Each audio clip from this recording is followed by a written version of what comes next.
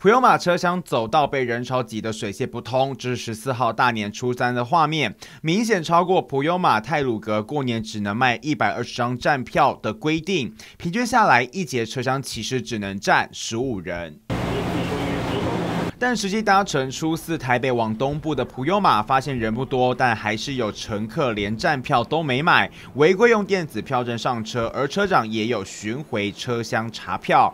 没有本车次二三二车次车票，就一律都是百分之五十。是，就去天是误点，我要赶时间就坐这一班。没有座位的票价加收五成，毕竟是为了防疫，不让单一车厢太多人。但是台铁可以拿悠游卡、一卡通等电子票证进站，人数难以控管。嗯，疫情比较。比较严重，那他们人力也不足，对，就是等他们呃体谅他们一下喽。等人力比较足的时候，就希望他们可以去做检查这样子。台铁回应会请车长加强查验票证，一一要求补票。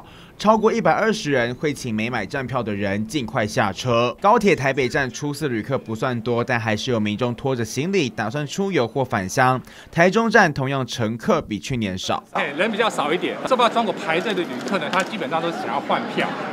看能不能换早一点的车次。高铁初三、初四有加开北上全车对号座列车，至于初五收假日也会视调度情况增加车次，以分散返乡人群，让疏于效能和防疫都达到平衡。